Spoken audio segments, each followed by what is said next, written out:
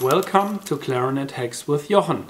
In this episode I continue and finish the adjusting of the German fingered keywork of a Model 2000 clarinet made by Schwenk und Seggelke. Today it's up to explain just the left hand pinky and right hand pinky keys. We have one, two, three, four, five adjusting screws which are around on the lower part of the instrument. This construction, which is also typical for the Schwenk und Seggelke clarinets, because we have the B and C natural on two separate axes. They are not connected directly um, from lever to cup of the tone hole, but it's indirect, so you can open the tone hole apart from the lever and this gives you the freedom to decide which opening of the keys you want to have for playing. If you close the tone holes a little more towards the body of the instrument, you have a very nice, very short way for the fingers. So this movement works very quickly as well here. But the disadvantage is that the opening is so small that the sound of the lower register doesn't get out of the instrument free. If you make the opposite, if you open the tone holes very, very much, you have the problem that your fingers will be moving a little more with, with a little more difficulty. So always like in a lot of things, in a lot of matters, it's very good to follow kind of a middle way between the two extremes. I show you how it should be well adjusted. You can test it either in the low register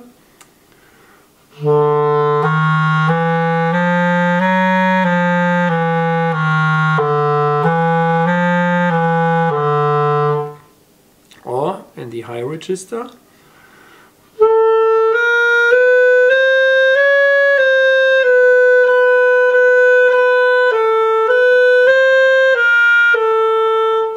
This is what we want to have.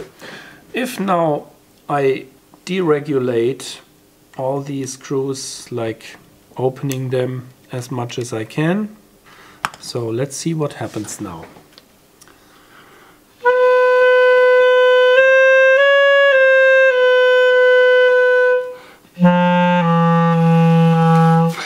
Again you see it's a possibility to deregulate the whole mechanism in a way that you cannot continue to play your clarinet. So we have to find out what is the right position.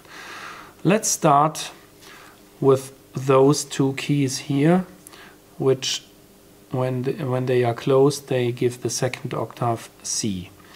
What we want to have is a parallel opening and closing of these two tone holes. And we find with our feeler gauge made from cigarette paper that this tone hole closes very well and here there's nothing. So what do we have to do?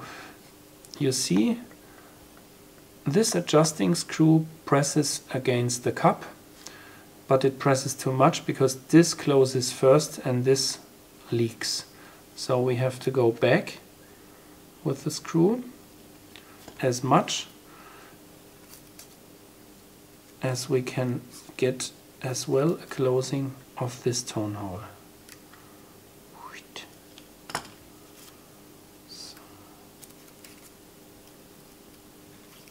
Yeah, now we feel a tiny resistance, it's not yet enough. So go back again, tiny bit, up. Now we have a perfect result for those two things here, those two pads. Even a tiny bit less would be good. So. Now we have the same feeling on the cigarette paper on both pads. So this will work again.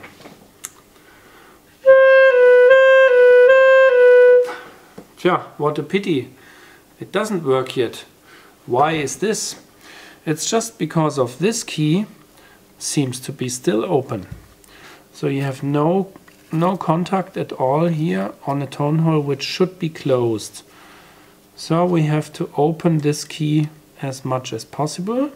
So we go down with this screw, so inside, in the sense of the clock, some two minutes to have no more uh, loose game here, but still a closing pad.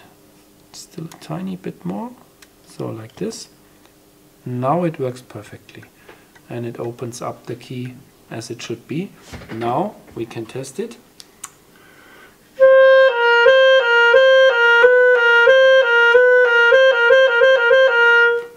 And now we see if the last key, uh, key on this instrument, the B natural key, still works.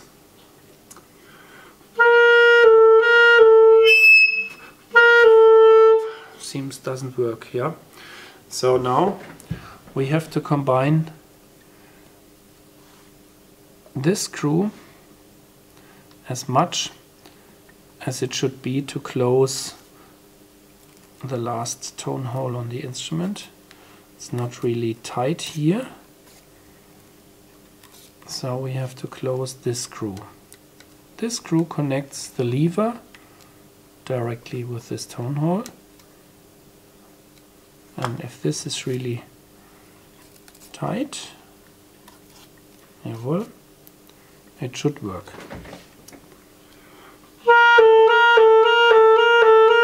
Okay, now there's another fingering. It's this additional fingering for the C sharp, where you only press the B natural lever, which gives the typical Albert C sharp.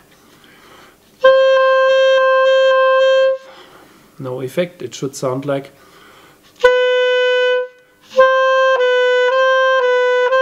Okay, doesn't work. We find the problem here. This key, which should be closed by this adjustment screw, because this is connected with the lever, is still open. So what we have to do is to close this adjustment screw as much as those two keys are synchronized. Why? You see the corks here on the backside of the adjusting screws and the effect should be that both tone holes close in the same way. I take again my little paper feeler gauge. Ah, still not enough. So now it's correct.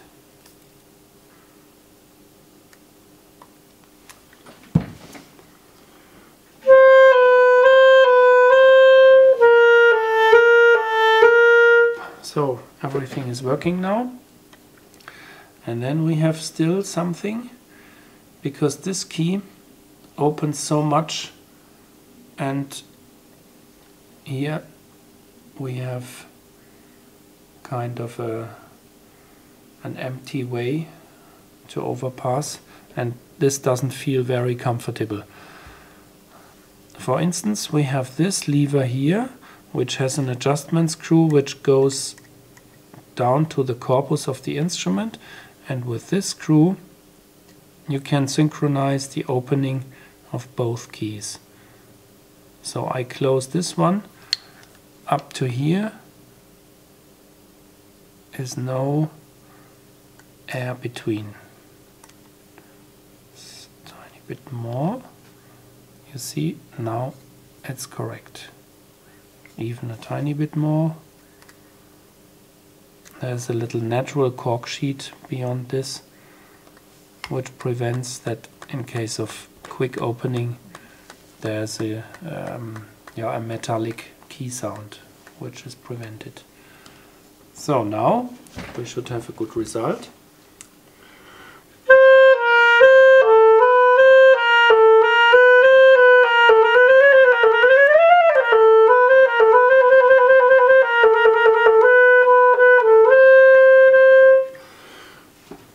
It's like it should work. I hope you can have any help from these advices and I hope you follow Clarinet Hacks with Jochen on this website. Thank you very much. Bye bye.